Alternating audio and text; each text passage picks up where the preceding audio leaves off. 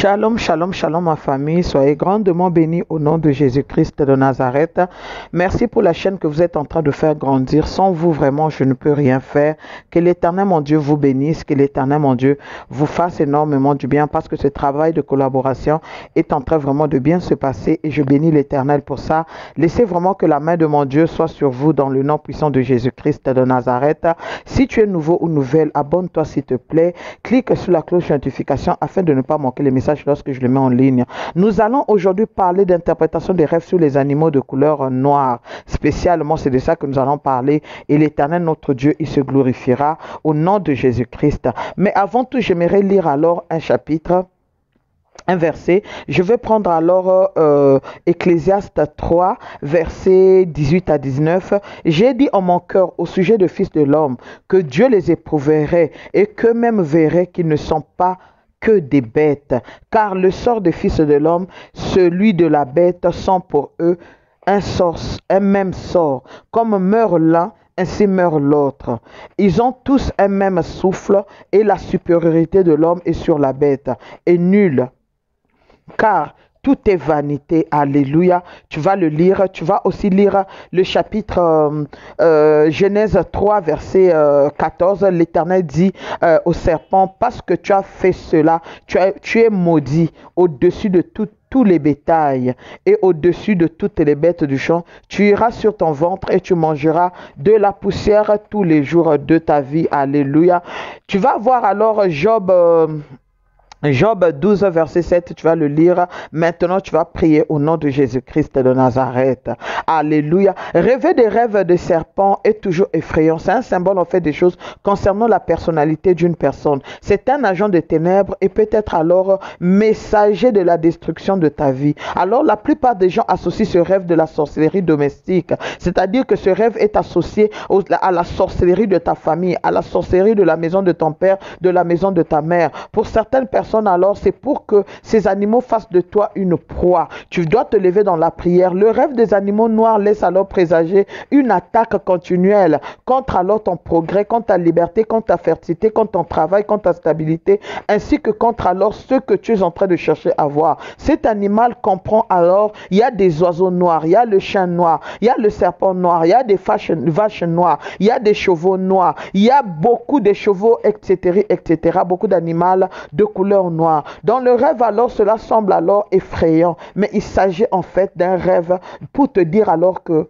tu deviens comme anti, anti-bonne chose anti-bonne nouvelle, anti-mariage, anti-fertilité. Alors que l'animal noir est, est associé à l'arme de l'ennemi, lorsque vous voyez trop souvent des animaux de la couleur noire dans vos rêves, cela indique qu'un pouvoir alors a été projeté contre vous. Un pouvoir alors, un sort alors a été jeté contre vous pour vous faire entrer dans la frustration, pour vous faire entrer dans des tourments, dans le désespoir. Tu vas alors te lever par la prière en même temps, cela signifie alors une douleur associée à une personne, par exemple, dans un mariage, dans un foyer. Vous avez été nombreux à expliquer ce genre de rêve, alors aujourd'hui j'ai envie de vous dire, voilà pourquoi je dis que ce thème va beaucoup vous aider. Une personne, lorsque je vous dis quel rêve tu as fait, quelle était la couleur, je demande toujours quelle est la couleur de la chose, parce que la couleur a une grande valeur. Une personne alors qui vient euh, d'une mauvaise famille, cela vraiment doit t'interpeller à te lever dans la, prière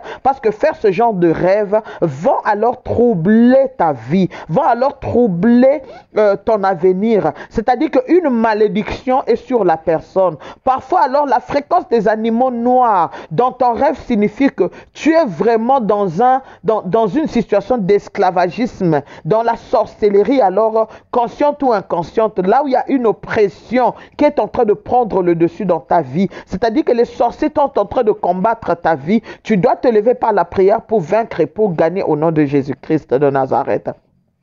Tous les animaux que tu es en train de voir dans ton rêve, tu dois te lever dans la prière afin de gagner. Ça veut dire qu'il y a la gravité des problèmes qui veulent arriver vers toi. Rêver d'un animal noir tel qu'un rat noir, un serpent noir, une chèvre ou autre alors, vous mordre dans n'importe quelle partie de votre corps, cela alors est vraiment, vraiment, vraiment, vraiment dérangeant et tu dois te lever dans la prière pour ne pas rentrer dans des situations désagréables. L'esclavagisme hérité de la malédiction de la maison de ton père, de la maison de ta mère, cela alors va te mettre en danger. Et les malédictions avec lesquelles tu as été soumis dans ce rêve-là risquent alors de ne pas sortir ou de ne pas finir si tu te souviens pas de ce rêve. Si tu te réveilles alors en pleurant à cause de cette morsure-là de l'un de ces animaux domestiques que je viens de préciter, cela signifie que tu es alors attaqué, tu es alors aux prises, tu es alors rentré dans des situations compliquées dont tu ne sauras même pas t'en sortir si ce n'est pas la prière. C'est-à-dire qu'il y a l'envoûtement maléfique, la morsure alors de cet animal dans le royaume alors spirituel peut alors euh, prendre le dessus sur ta vie, alors tu dois te lever par la prière. Par exemple, lorsque tu es en train de voir que tu es mordu par un serpent, par la main, par la jambe, cela signifie que des événements négatifs concernant alors sa manifestation, la chose que tu es en train d'attendre de la part de l'Éternel, pouvant alors prendre du temps jusqu'à ce que tu pries et rentrer dans la délivrance. C'est-à-dire que l'accomplissement va s'éloigner de toi, l'accomplissement va s'éloigner de ta vie, mais laisse que toi qui es en train de me suivre, que la main de mon Dieu se lève sur toi au nom de Jésus-Christ de Nazareth, que Dieu t'épargne au nom de Jésus. Par exemple, si tu vois une femme méchante, peut utiliser alors le chèvre noir pour attaquer ta gloire, pour attaquer ta vie, pour surveiller ta vie dans ton sommeil, pour t'empêcher de rire, pour t'empêcher de rentrer dans la gloire. Cela alors veut dire que tu dois te lever par la prière et tu vas vaincre que par la prière. Voilà pourquoi tu dois te lever sincèrement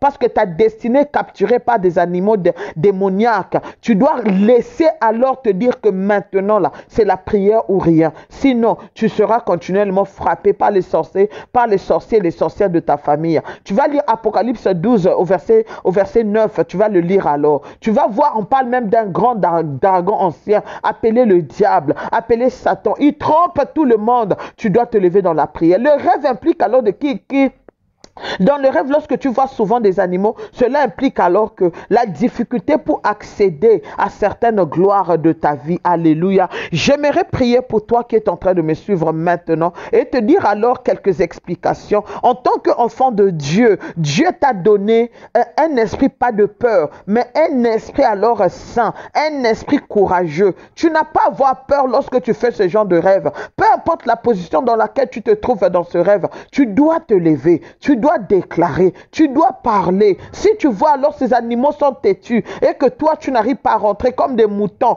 comme alors des moutons qui ne veulent pas te laisser, cela signifie qu'il y a une guerre spirituelle qui sera continuelle dans ta vie. Tu dois te lever pour éviter des ennuis. Tu dois te lever dans les prières au nom puissant de Jésus-Christ de Nazareth. J'aimerais te dire une chose. Abonne-toi, clique sur la cloche de notification. Il y a beaucoup, beaucoup, beaucoup, beaucoup, beaucoup de versets qui sont en train de parler alors des attaques venant dans le monde des ténèbres. Tu peux voir alors les chèvres te mordre. Tu peux voir alors une femme célibataire rêvant alors des animaux autour d'elle. Cela signifie que les démons anti-mariage sont en train de contrôler sa vie et cette dernière aura du mal même à se marier.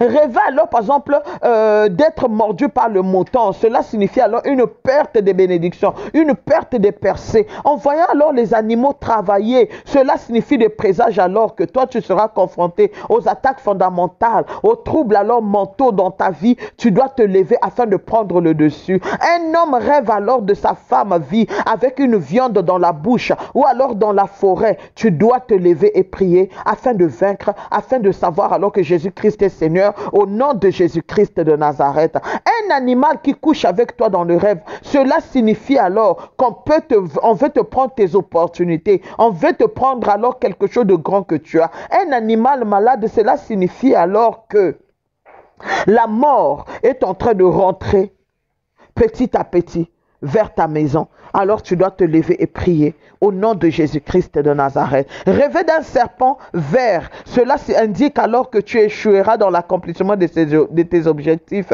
Que alors tu dois savoir, il y a un ami méchant qui est à côté de toi ou un parent qui ne veut pas te voir béni. Alors sois vigilant au nom de Jésus-Christ. J'aimerais prier pour toi et demander alors à la main de mon Dieu de se, lever dans ta vie. C'est la première partie alors de cette interprétation. Comme j'avais dit, on veut plus que les messages montent François Lang, je prier et je viens annuler toute manifestation des attaques spirituelles sur ta vie au nom de Jésus. Que le sang de l'agneau immolé enlève les marques de la mort sur toi dans le nom de Jésus-Christ. Je flash le sang de Jésus dans ton corps, âme et esprit et que tout animal en mission contre ton succès, tout animal en mission contre ta joie échoue lamentablement au nom de Jésus-Christ. Je brise la puissance au nom de Jésus-Christ de voir des animaux accoucher pour que toi tu ne puisses pas te multiplier. J'annule leur travail dans ta vie au nom de Jésus-Christ. Toute mauvaise langue proférant alors des paroles de malédiction ou autres déclarant alors contre ta vie soit complètement réduit en silence. By fire, by force in the name of Jesus. J'ordonne à chaque esprit de mort rentrer dans des animaux pour alors te refuser ta, bénédiction. Laisse qu'il soit maintenant yandarabo shakababa calciné by fire, by force. Toute langue provoquant la destruction contre toi soit condamné. Déclare là où je suis, moi, Clausel, toute condamnation sur ma vie à cause de mon père, à cause de ma mère, je les rends nuls et sans effet au nom de Jésus-Christ de Nazareth. Je reçois la victoire sur l'armée de la méchanceté qui m'entoure. Au nom de Jésus-Christ, tout animal venant dans mes rêves pour prendre ma bénédiction reçoit le feu, reçoit le feu d'Ifaya, d'Ifaya, fire, fire, fire au nom de Jésus-Christ. Tout esprit attaquant alors, Yandarabo Shakababa, ta gloire, ton mariage, ton succès, reçois le feu au nom de Jésus-Christ. Tous les problèmes liés au cadenas spirituel dans ta vie à cause de ces animaux reçoivent alors le feu au nom puissant de Jésus-Christ. Laisse que la gloire de Jésus-Christ se fasse voir dans ta vie, se fasse voir dans ton mariage, se fasse voir dans ton ventre. Je te déclare féconde, je te déclare mariée, je te déclare bénie, je te déclare délivrée totalement au nom puissant de Jésus-Christ de Nazareth. Que mon Dieu ouvre le ciel pour toi au nom de Jésus-Christ de Nazareth. Sois grandement béni, que l'éternel mon Dieu te bénisse. N'oublie pas de liker, de partager. L'éternel mon Dieu te bénira. Je vous dis à très bientôt si Jésus-Christ ne revient pas. Shalom.